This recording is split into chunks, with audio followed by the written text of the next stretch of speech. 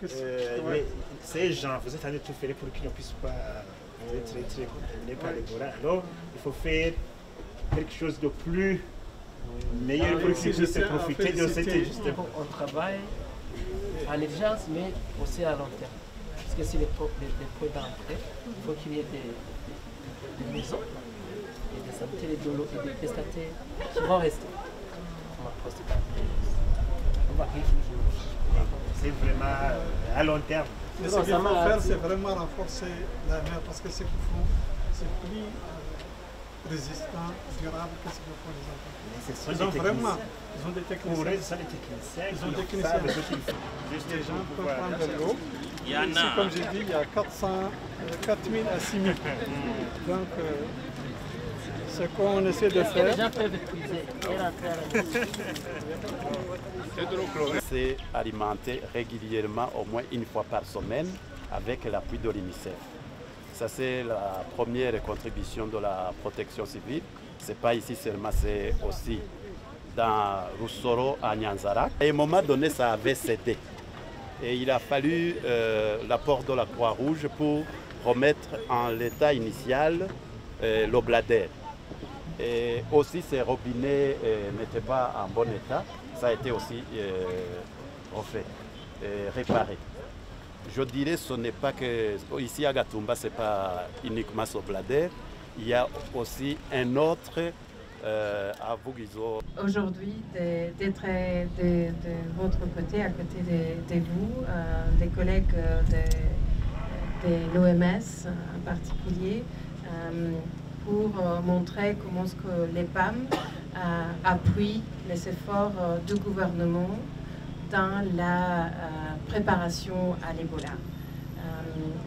Comme vous le savez peut-être, les PAM au monde, nous sommes, nous chargeons de la nourriture, mais nous sommes aussi la- l'agence des systèmes des Nations Unies en charge de la logistique. Et c'est dans, dans ce cadre qu'on essaie, on essaie de, fournir les appuis euh, que le ministère, euh, à côté de, l'OMS, considère nécessaires. Et euh, nous sommes vraiment honorés d'avoir, euh, pour le moment, contribué à, cette préparation, à cet effort qui sont très très importants, euh, très organisés du gouvernement de Burundi, euh, avec euh, euh, cette petite contribution. Juste peut-être pour parcourir un petit peu la, contribution, c'est deux comme qu'on a l'honneur de donner aujourd'hui, mais c'est aussi euh, dans les centres de transit.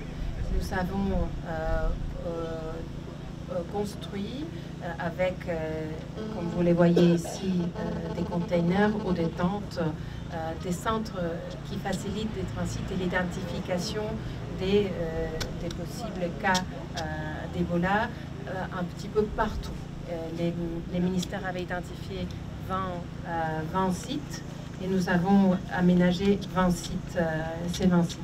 À part ça, il y a aussi des, des centres de, de triage et d'isolement qui sont dans cinq euh, centres de santé et hôpitaux. Ça, c'est déjà aussi euh, fait. Il y a euh, euh, du travail qui, qui s'est fait à côté de, de, de ministère pour les clusters, pour la commission de logistique.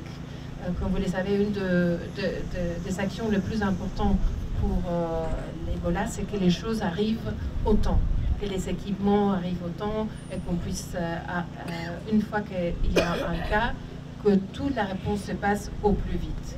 Et les PAM, l'appui, euh, c'est qu'on puisse euh, contribuer à ces efforts, que les choses arrivent au temps euh, où ils doivent euh, aller et toujours en appuyant l'élite de, euh, en, coopération avec, euh, avec l'OMS.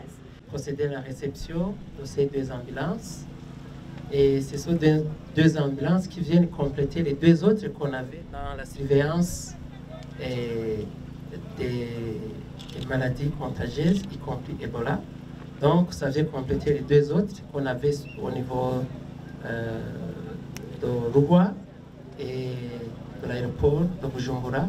Donc, c'est un réel plaisir puisque et ces ambulances vont nous aider à euh, transférer les suspects, donc à Ebola, pour les faire arriver dans les sites d'isolement pour procéder à- au dépistage Donc c'est un réel plaisir, mais aussi je voudrais profiter de cette opportunité pour remercier tous les partenaires, comme vous l'avez fait, et qui appuient, qui appuient, qui contribuent dans le financement du plan de contingence. Et aussi, et je voudrais remercier également les partenaires locaux, notamment mon collègue le ministre, puisqu'il a fait cette visite, comme vous l'avez constaté, nous avons, à partir de l'UNICEF, des fonds qui vont contribuer à amener l'eau potable ici et dans les sites et de l'autre côté de Vugizo. Donc cela va permettre non seulement à la population congolaise qui vient au Burundi à pouvoir assister aux mesures d'hygiène qui sont cette fois-ci recommandées, mais aussi la population qui travaille ici au niveau de la frontière.